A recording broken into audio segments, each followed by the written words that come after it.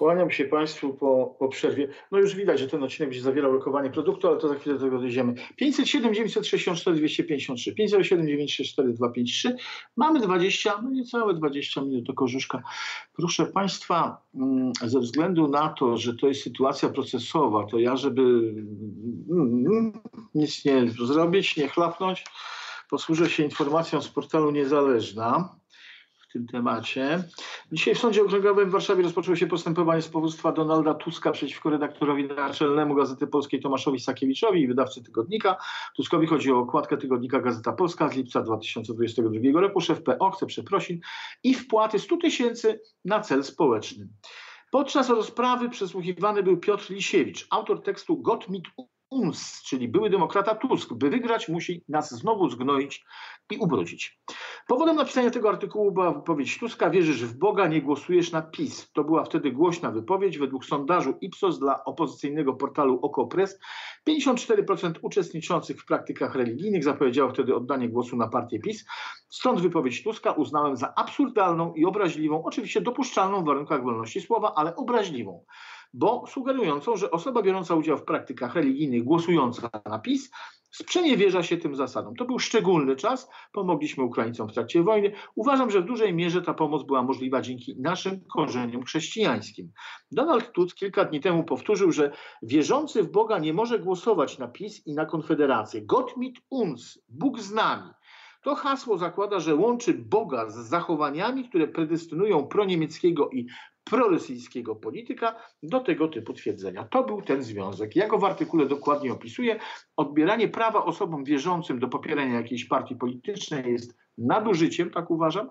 Donald Tusk wcześniej podczas strajku kobiet, który dopuszczał się agresji wobec kościołów, zaprosił Martę, Martę Lempart do Brukseli Założył też maseczkę z błyskawicą, a później powód staje w roli kogoś, kto nakazuje wierzącym, na kogo mają głosować. Jak rozumiem, pozew dotyczy tego, że grafika została przekształcona tak, że mogła prowokować skojarzenia nazistowskie. Uniesiona, zaciśnięta pięść mi nie kojarzy się z hejlowaniem, ale właśnie to sugerują pełnomocnicy powoda. Sugeruje się też, że cień pod nosem Donalda Tuska sugeruje wąsik hitlerowski. Na oryginalnym zdjęciu Polskiej Agencji Prasowej ten cień także występuje.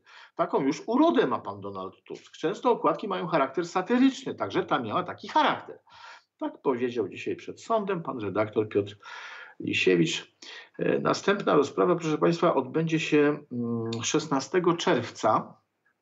Wtedy najprawdopodobniej e, zostaną przesłuchani Donald Tusk i Tomasz y, Sakiewicz. Ja bym tego nie komentował, tak na wszelki wypadek, no bo po co? Natomiast, y, ponieważ my jesteśmy tutaj wszyscy szalenie kulturalni, nastawieni tak po chrześcijańsku do bliźniego, ja bym za darmo udzielił rady, no takiej porady profesjonalnej, bardzo skromnie powiem dla pana przewodniczącego Platformy Obywatelskiej, ale to może za chwilę do tego wrócimy. Przepraszam najmocniej, yy, powiedzieliście, że kto się dodzwonił? Pan Sławomir z Bydgoszczy. Dobry wieczór panie Sławomirze. Tak, słucham. Dzień dobry panie Jacku. Dzień dobry. Ale słabo Krótkie dotyczy Przypomnę panu, rozmawiałem kiedyś z panem i przypomnę, że to jest kwestia czasu, że kiedyś będzie taka krótka wymianka na pana Tuska na Trzaskowskiego. Oczywiście to, oczywiście pan Tusk jeszcze nie oddał władzy, bo to jest być albo nie być niego faktycznie, bo już pójdzie wtedy na emeryturkę. No ale poczekajmy, zobaczymy. A co do y, TVN-u, boję się, że oni coś jeszcze zmajstrują. Coś oni jeszcze ukręcą. Tego się, tego się obawiam. To jest najgorsze, to jest to, że każdy z nas wszyscy wiemy, jak się skończyło na Smoleńsku, jak nakręcili ten film, a boję się, że teraz mogą nakręcić coś, co faktycznie, że może być, że Paweł, Jan Paweł Święty nie był zamordowany, tylko sam popełnił samobójstwo. Boję się, że tego taki film mogą nakręcić ale są nie tylko skłonni do tego. I tego się właśnie obawiam, panie Jacko, naprawdę. Nie, samobójstwa tak nie było. popełnił. To była eutanazja to, to, to, i tak dalej, i tak dalej. Tak sobie to mniej więcej wyobrażam, jeżeli chodzi o, o, o skalę podłości, do jakiej oni są, do jakiej oni są zdolni. Bardzo uprzejmie dziękuję Państwu, Sławomirze. Pozdrawiam serdecznie. Dzięki bardzo. Do usłyszenia. E, Pan trochę ulega tej, tej propagandzie, że, że, że będzie. To jest propaganda pisowska. Pan ulega pisowskiej propagandzie, że, że będzie zastąpiony Tusk przez Trzaskowskiego i tak dalej. Nie, ja się śmieję, żartuję. A, ta porada, bo miałem udzielić porady. Tak. Uwaga, telekino. Ej, bardzo uprzejmie proszę, pokażcie. To jest krótki filmik. E, Państwa poproszę, po- pokażcie jak kłamie Tusk, a Państwa poproszę, żeby Państwo zwrócili uwagę na gest, którego Tusk używa podczas, e, podczas tego, co, co mówi na, na swój temat, co mówi o sobie, szczerze. Ja nie jestem krwiożerczym typem. Nie jestem mściwym człowiekiem. No, proszę Państwa, no i Panie Przewodniczący, ja naprawdę doceniam to wszystko, co Pan umie i potrafi, ale kłamać Pan nie umie. Nie wiem, kto Pana uczył tej gestykulacji, Mm, ale ten język ciała przeczy temu, co Pan chce przekazać. Gest powinien być przedłużeniem myśli. Pan mówi o tym, że pan nie jest mściwym typem. Pan chce powiedzieć, że pan jest w porządku, czysty, że pan nie ma złych intencji. Wtedy te gestykulacje używane do tego rodzaju przekazu będą wyglądały mniej więcej tak, że pokazuje się, że te otwarte dłonie z tej strony, nie z tej, pokazuje się, że pan nic nie ma do ukrycia, że pan tutaj jest właśnie taki porządny, uczciwy, nie jest mściwy i tak dalej. Natomiast ten gest, którego pan używa, to on oznacza coś zupełnie innego. On oznacza, że to, co nastąpi po tym, jak pan przejmie władzę, to będzie i tak dalej, i tak dalej. Więc pan używa tych gestów nie intencjonalnie, nie w takim sensie, że one są przedłużeniem tego, co pan myśli, tylko to są gesty wystudiowane których pan się nauczył, które ktoś panu podpowiedział. Słuchaj, możesz robić tak, możesz robić tak i tak dalej, i tak dalej. E, no i teraz pan, je, pan ich używa mm, nie wtedy, kiedy, nie wtedy, kiedy trzeba. Dlatego ten przekaz jest e, zły. Dlatego pan ludzi nie przekonuje. Mam na myśli tych ludzi, którzy nie są do pana przekonani, bo tych, którzy są do pana przekonani, to jest wszystko jedno, co pan im pokaże. To im się podoba, jak pan pokazuje, bez względu na to, co pan pokazuje.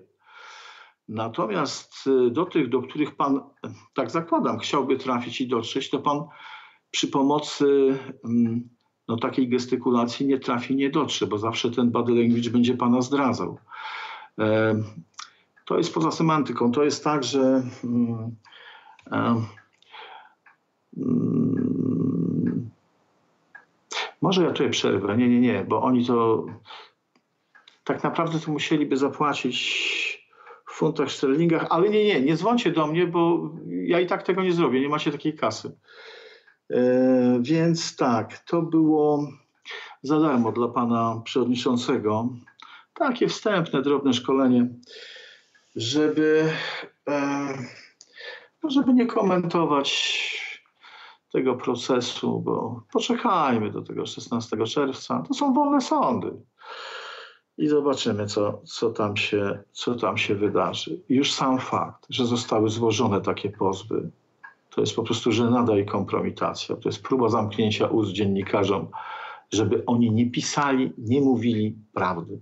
Tak naprawdę to o co chodzi? No chodzi o to, żeby nie wracać do tego, co pan przewodniczący mówił wcześniej. Dokładnie o to chodzi.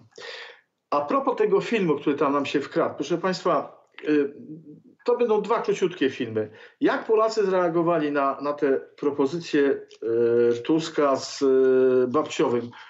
Uwaga, telekino, bardzo uprzejmie, proszę pokażcie te, te sądy. Co Polacy powiedzieli reporterowi Super Expressu na temat tego Babciowego, na temat tej propozycji Tuska? Donald Tusk babciowe proponuje. Słyszała pani, czy to Niech się wypcha. On ma sklerozę już, niech się leczy. kto? Tusek! Wszyscy wychodzą, Tuska już nie ma tyle lat i mówią, o ten Tusk to ho, ho, ho. Co on mówi, to wie pan, to gówno y, chłopu, a nie zegarek. Niech pan przestanie z tym Tuckiem, bo on mnie denerwuje.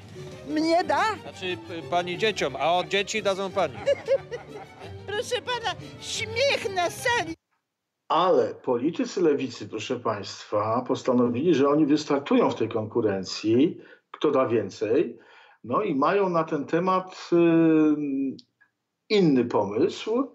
Y, do kogo innego, nie do babci zaadresowany. Uwaga, telekino, bardzo proszę, pokażcie, co wymyślili na, na lewicy. Czym, czym ci z lewicy, no te Biedronie Czarzaste i tak dalej, czym oni chcą przebić to babciowe Tuska? Dlatego lewica proponuje żłobkowe. Te pieniądze, które na przykład przeznaczylibyśmy na babciowe, około 7-8 miliardów złotych każdego roku powinniśmy inwestować w żłobki. Dlaczego to jest tak, że oni proponują żłobkowe? No bo jak się taką sondę z tymi babciami nagra, no to sami Państwo widzieli, co się dzieje, tak? A jakby w żłobku z tymi niemowlakami, to co taki niemowlak powie? Lolo, lo, lo, już. Pan Czesław Zlaciąża jest z nami. Kłania się Panie Czesławie, dobry wieczór. Dobry wieczór. Halo? Tak, słucham Tak, Pana. dzień dobry. Halo, dzień dobry. Tak, słucham Pana. Dobry wieczór. E, chciałbym zabrać głos na temat e, naszego byłego premiera Donalda Tuska.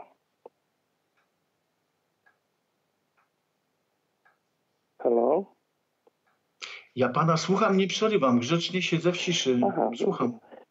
Chciałbym powiedzieć, że za to wszystko, co wy wypowiadacie na temat tego porządnego człowieka, będziecie się kiedyś smażyli w piekle. Piekle nikczemnicy. Dzięki. Do widzenia. Bardzo uprzejmie dziękuję Panie Czesławie.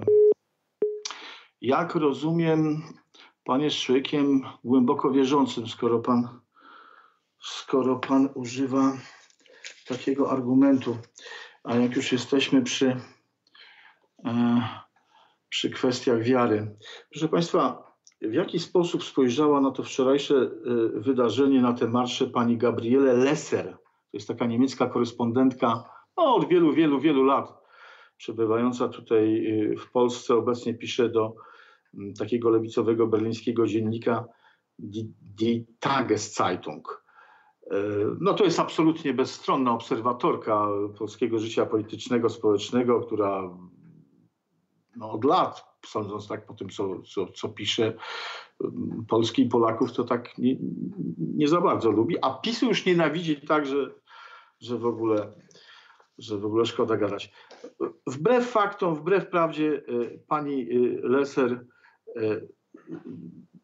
twierdzi, że zarówno ta książka tego Eke Overbecka, jak i ten reportaż z TVN-u to były bardzo dobrze udokumentowane e, sprawy. Podkreśla, że, że to można uznać za pewne, że te trzy przypadki nadużyć seksualnych miały miejsce. Kardynał Wojtyła o nich wiedział i tak dalej, i tak dalej.